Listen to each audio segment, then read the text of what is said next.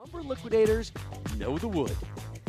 The Scorpion oil pattern is 41 feet in length and is the second longest pattern we use out here on tour.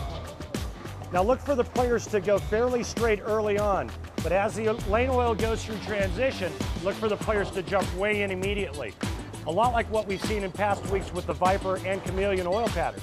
But the big difference is that the Scorpion is so much longer than those other patterns that when the players do move in, they must keep their angles much straighter and much tighter through the front part of the lane. One other note, we do have only one southpaw on the telecast today, Young Jin Koo. He'll have the whole left side of the lane to himself.